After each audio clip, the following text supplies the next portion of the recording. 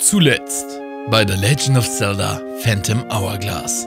Auf der Insel der Ruinen begegneten wir den Rittern des Daiku-Königreichs. Diese offenbarten uns, dass ihr König von einem Monster heimgesucht wird und seitdem keinen friedlichen Schlaf mehr im Tode findet. Wenn wir es schaffen, das Monster zu besiegen und den König wieder zur Ruhe zu betten, erhalten wir im Gegenzug den Smaragdstahl. Und das ist der letzte Stahl, den wir benötigen, um das Phantomschwert zu schmieden.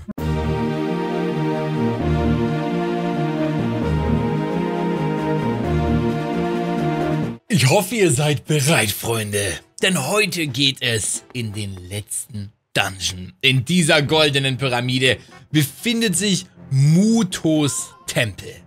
Und hier ist der letzte Star, der letzte Boss, der letzte Herzcontainer, Freunde. Hier kracht's. Schau dir diesen Tempel an. Sieht so aus, als seien sei ja voll mit Fallen. Wir sollten hier besonders vorsichtig sein, Hübi. Okay. Mit Bomben lässt sich Zeit gewinnen. Wähle den versteckten Pfad auf dem langen Weg und überquere die Brücke. Rechtzeitig. Ah, okay. Das klingt alles irgendwie sehr sass. Aber wir schauen jetzt... Das sieht mir nach... Warte mal, das kann ich sprengen. Das kann ich sprengen, oder? Ich wollte sagen, das ist entweder eine Falltüre oder ich kann sprengen. Und ich kann sprengen. Cool. Und ich kann sprengen. So, äh, dann schauen wir mal hier lang. Dann machen wir hier auch mal auf. So, ist hier irgendwas auf der anderen Seite, ne? Wir fangen jetzt erstmal an, uns hier wieder so ein bisschen zu erkunden. Nee, hier ist erstmal nichts. Okay. So. Und, äh... Was genau geht hier ab?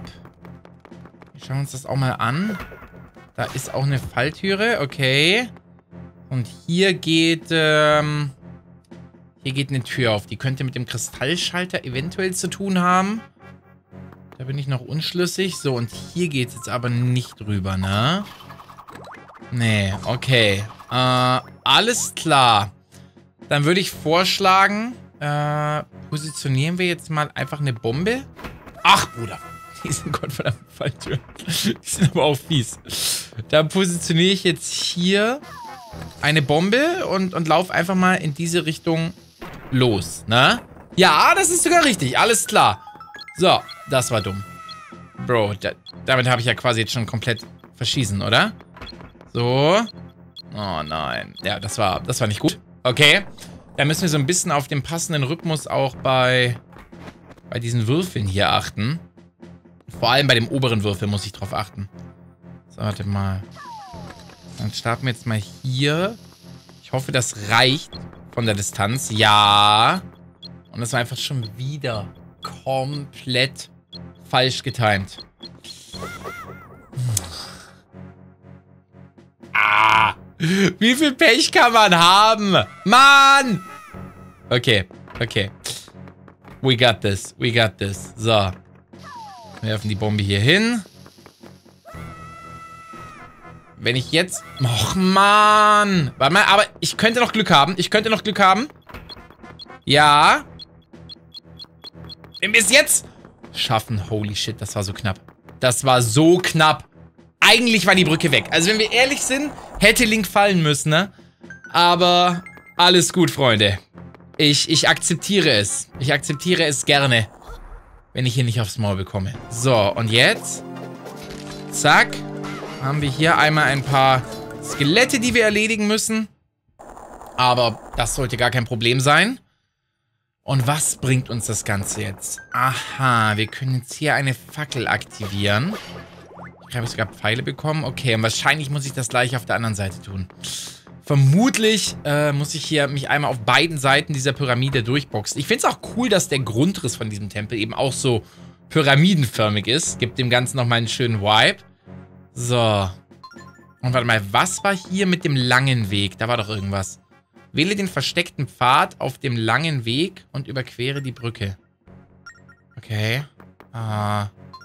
Passt auf, dann legen wir jetzt einfach hier die Bombe hin. Und ich laufe einfach schon mal instant los, ne? Oh mein Gott. Wegen der Falltür. Also wegen, wegen der Animation bin ich jetzt nicht runtergefallen. Holy shit. Okay. Das hat geklappt. Und auch hier kann ich jetzt die Tür öffnen. Damit müssen wir das zumindest nicht äh, nochmal machen, das ganze Timing-Ding hier. Das ist ganz schön. So, und hier oben kommt jetzt quasi nochmal ein Kampf. Ich nehme wieder meinen Greifhaken, falls es wieder die Skelette sind. Ja, okay. Also ich habe das Gefühl, dass wir die Skelette in diesem Dungeon noch häufiger sehen werden. Ich habe das Gefühl, die sind so ein bisschen der, der Hauptgegner. Ja? Der Hauptgegner von diesem Dungeon. So. Zack. Und Fackel an. Und das entfernt hier die Stacheln. Und ich glaube, wir haben das erste Secret geschafft. Oder den ersten Dungeon. So, jetzt, jetzt kommen hier schon äh, Skelette mit irgendwelchen Hüten. Okay. Das scheinen, glaube ich, Nahkämpfer zu sein, habe ich so ein bisschen das Gefühl. Ähm. Die, die hatten, glaube ich, so ein Schwert in der Hand. So, aha. Schaut mal, da unten ist auch was geflutet. Dieser Dungeon hat auf jeden Fall auch wieder mit dem mit diesem typischen Wasserablassen zu tun, was wir auch schon auf der Hauptinsel hatten. So. Ihr seid mit dem Greifhaken sehr entspannt und schnell erledigt. Das ist eine Brücke mit crazy Stacheln an der Seite. Und das ist der einzige Weg, den ich aktuell gehen kann. Na, ich folge den Wegen. So. Kann ich nicht mehr was tun. Da ist ein Schalter, den ich hier aktivieren kann. Ich glaube, so einen haben wir auch schon mal im Tempel des Meereskönigs gesehen, wenn ich mich recht erinnere. So, okay, okay, okay, okay. Jetzt wird's interessant. Wir haben auf jeden Fall neue Pfeile bekommen. Das heißt, hier kann ich mich auf jeden Fall gut durchmogeln. Die Frage ist jetzt wieder, gibt es hier irgendwo fiese äh, Falltüren, von denen ich wissen sollte? Warte mal, ich kann, ich kann mich ja mit dem Boomerang so ein bisschen umschauen. Da ist eine Truhe. Okay, die wollen wir auf jeden Fall, Freunde. Die wollen wir auf jeden Fall. Die ist auch echt. Der Rubin, der auch. Aber der nicht, oder? Nee, der nicht. Sehr gut. Und das beschert uns eine Helmarok-Feder. Ich glaube, die gibt uns 800 Rubine beim Schatzmeister. Wenn man noch Rubine braucht, wäre das auf jeden Fall ein guter Fund. Wir sind leider schon ziemlich ausgesorgt. So, hier ist schon wieder so ein Knopf, den ich nicht drücken kann. So, den habe ich vorhin schon gesehen. Ich frage mich, was das ist. Ich glaube, ich habe so einen auch im Tempel des Meereskönigs gesehen. Sieht aus wie ein Schalter, aber er ist rostig und wird wohl nicht nachgeben, auch wenn du dich draufstellst. Ja, die sind irgendwie kaputt, ne? So ein bisschen kaputte, kaputte Mechanik hier. So, und was ist jetzt hier los? Aha. Ich sehe auf jeden Fall aber auf der Karte, dass oben in der Ecke auch noch ein Gegner ist. Ich kann mir vorstellen, dass das vielleicht ein Raubschleim ist. Ja, so sieht's aus. So, und oh!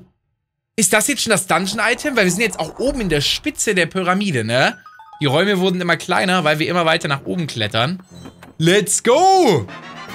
Freunde, wir haben den Hammer! Er ist klein, aber schlagfertig. Tippe um dich herum, um zuzuschlagen. Wenn du den Touchpen gedrückt hältst, kannst du sogar den Hammer aufladen. Der Wirkungsbereich wird größer. Und das ist so cool, Freunde. Wir können damit sogar Rubine auf Distanz einsammeln. Das ist so ein geiles Item. Das ist mit auf jeden Fall, rein vom Gameplay-Aspekt und vom Feeling her, mit Abstand, Freunde, mit Abstand das coolste Item. Leider kommt es eben erst ganz am Ende vor und dadurch wird es kaum gebraucht. Tritt auf die Fußabdrücke, hau dem Pfosten. Putz! Und so baut man sich quasi eine eigene Wippe. So, und jetzt sehe ich auch gerade, bestimmt kann ich euch kaputt machen, oder? Jawollo! Man kann einfach nur um sich prügeln, aber ich verstehe, warum sie das so spät gemacht haben, weil das einfach ein viel zu unfaires Item wäre, wenn man das früh bekommen würde. Alle Kämpfe wären useless. Es befinden sich keine Schatztruhen mehr auf dem Stockwerk. Ja, großartig. Okay. Und damit können wir uns jetzt wieder einmal durch den äh, kompletten Dungeon prügeln. So, ich töte hier immer alle Gegner falls hier vielleicht nochmal irgendwo ein Gegner spawnen möchte. So, und wir marschieren wieder nach unten. Das ist K1. Okay, Kellergeschoss 1. Ähm, und hier, euch kann ich rollen, oder was? Schauen wir mal. Ja, okay. Also ich muss ja auch wieder die Felsen passend manövrieren. Da brauche ich einen Schlüssel. Und hier wird wieder gekämpft. So. Alter, wie können die einfach komplett pulverisieren? Die verschwinden einfach. Wir, wir radieren sie einfach aus der Weltgeschichte. Holy shit. Wow.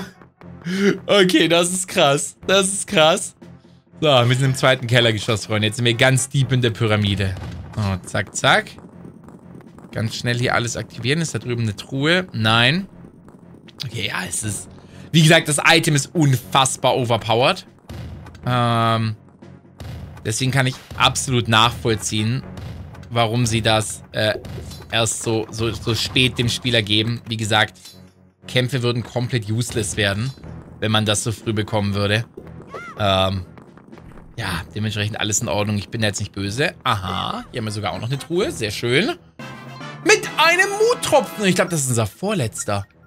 Ich glaube, das ist unser vorletzter. Let's go, let's go. Ey, wir machen einen mega guten Job. Hier oben ist auch noch eine Truhe. Mit dem kleinen Schlüssel. Stark.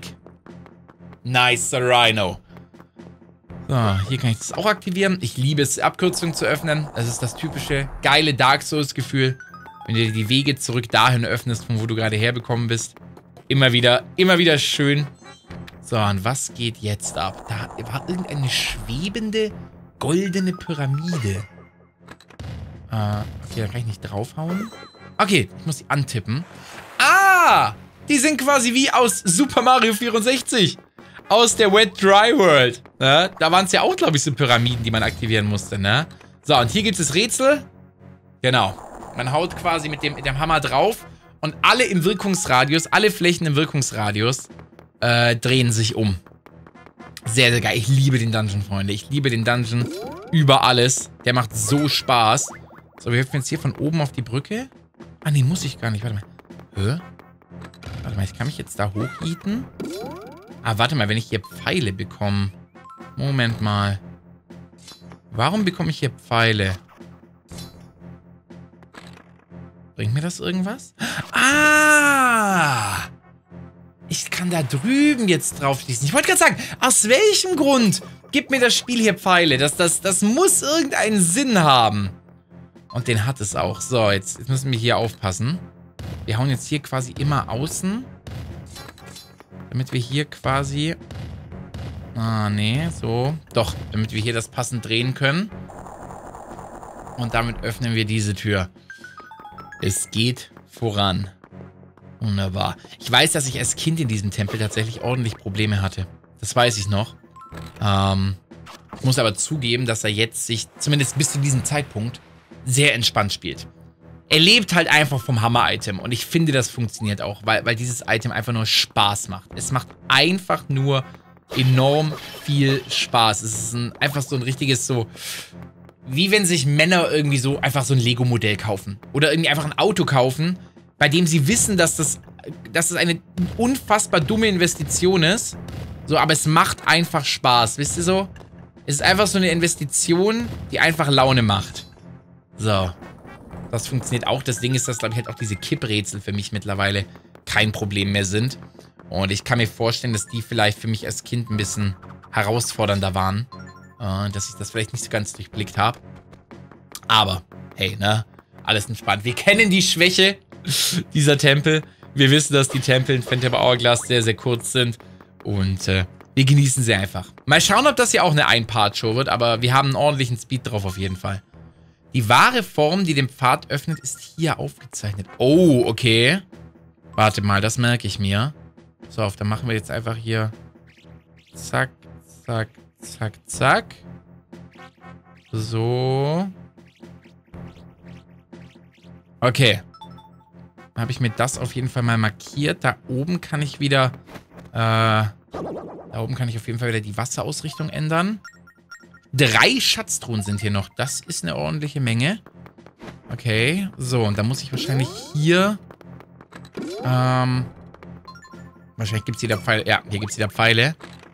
Von hier das irgendwie ändern. Oder kann ich da drüben irgendwas machen? Ah! Ich kann da die Ausrichtung nach unten ändern, dass das Ding jetzt, glaube ich, für uns die wasserverändernde Pyramide aktiviert. Sehr gut.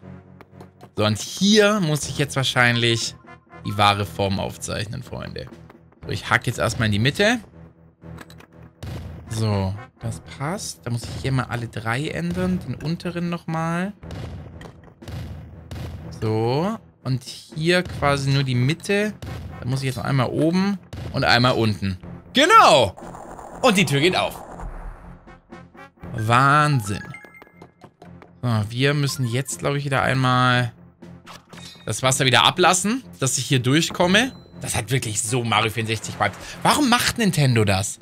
Was ist der Sinn dahinter, so, so, so pyramidenartige Objekte als, als Wasserstandmesser zu nehmen? Habe ich da irgendwas... Habe ich da irgendwas übersehen? Ist das... Ist, ist die Form irgendwie... Keine Ahnung, etabliert mit Wasser? Also, Pyramiden denke ich halt legit nur an... Ich denke nur an... Äh, warte mal. Schau mal hier. Ah, ich verstehe. Hier kann ich das nach oben rollen. Ich denke dabei nur an Ägypter. Also wenn ich, wenn ich Pyramiden sehe, ich denke an Ägypten, Freunde. Äh, und irgendwie nicht an Wasser, aber wer weiß. Vielleicht ist das in Japan anders, ne? Die japanische Kultur tickt immer ein bisschen anders. So, das ist die zweite Truhe, die auf dem Stockwerk ist. Das heißt, eine Truhe muss es noch geben. Das könnte eventuell sogar die Boss-Truhe sein. Ich weiß es aber nicht genau.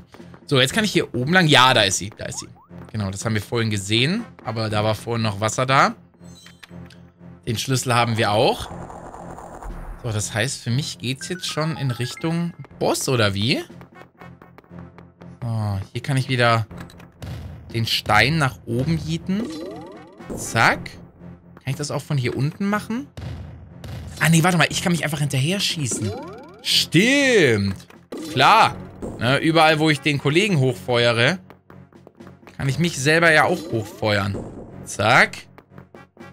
Der wird hier einmal schön manövriert. Wir hinterher.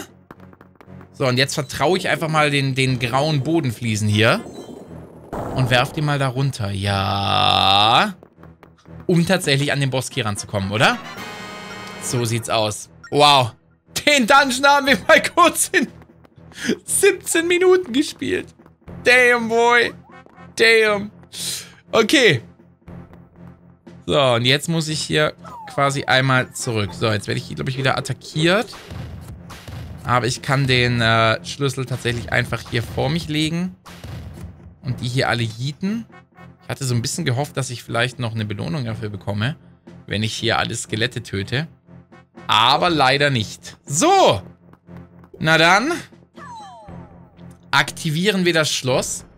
Und dann sind wir hier auch schon durch. Aber, Freunde, ein großes Aber.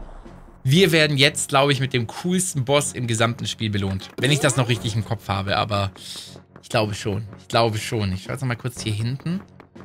Oder warte mal, ich kann auch von oben schauen. Ich kann auch von oben einfach runterhüpfen. Ja, da ist nichts mehr. Okay, okay.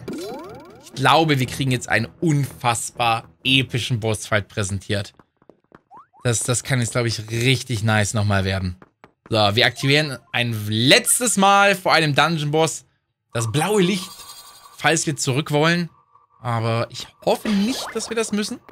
Ich hoffe, dass wir alles haben. Rein da! Oh boy. Oh boy. Oh boy. Oh boy. Freunde. Ein Boss, der sich über zwei... Ein Boss, der sich über zwei Bildschirme erstreckt uralter Soldat Odis. So, und ich glaube, bei dem können wir uns hier nach oben jieten, ne? Um dann quasi mit dem Hammer, aua, seine Schwachpunkte anzugreifen. Und man muss die Schwachpunkte häufiger treffen. Man muss wirklich in der Luft so richtig auf ihn einhacken. Das ist so... Ah, es ist so episch. Und ich tue mich... Ich bin gerade nicht sehr smart darin, äh, seinen Attacken auszuweichen. So. Sehr gut. Ich hiete mich gleich nochmal hoch. Zack, zack, zack. Oh, ich kann nichts treffen. Da. So, der Arm ist down. Und wir müssen jetzt hier eben Stück für Stück ausweichen. Wir müssen jetzt hier Stück für Stück die Steinrüstung, äh, die Steinrüstung von seinem Körper hacken. So, und jetzt muss ich irgendwie mal hinter ihn kommen. Passt auf.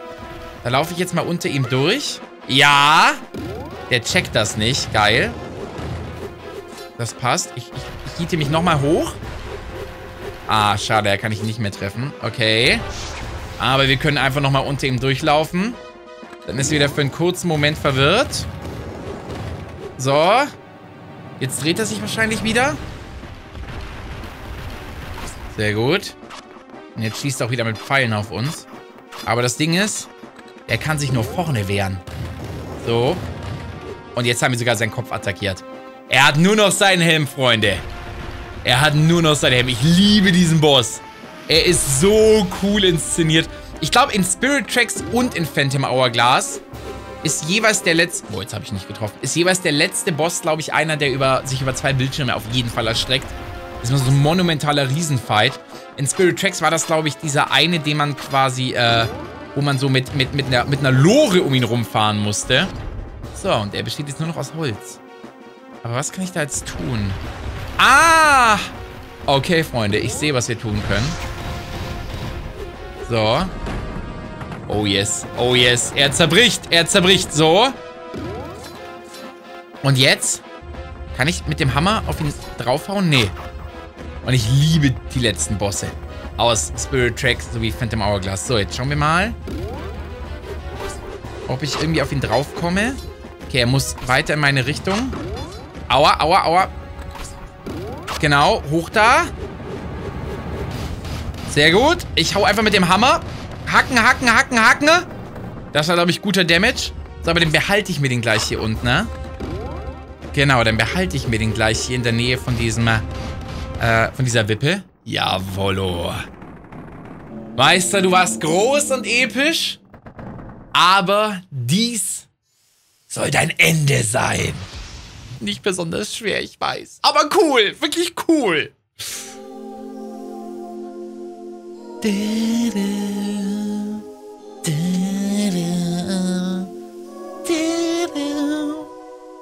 Das müssten, glaube ich, nochmal weitere neue zwei Minuten für uns sein. I guess.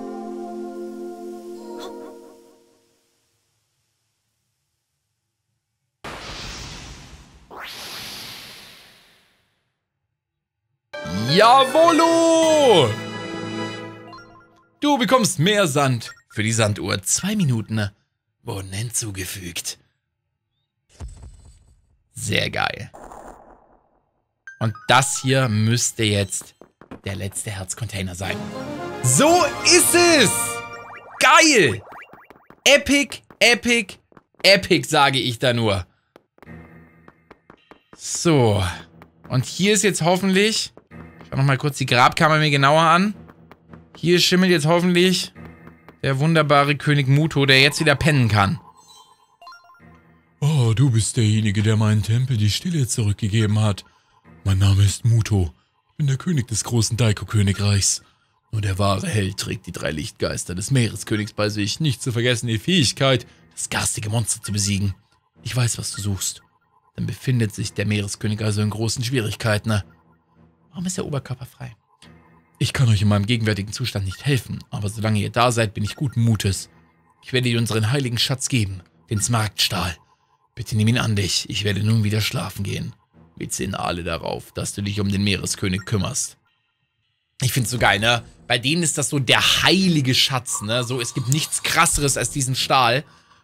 Und bei den Goronen mussten wir einfach fünf Quizfragen beantworten, ne? Und dann war so, ja, ja, nimm ihn dir mit. Du bist einer von uns, du hast die fünf Quizfragen beantwortet.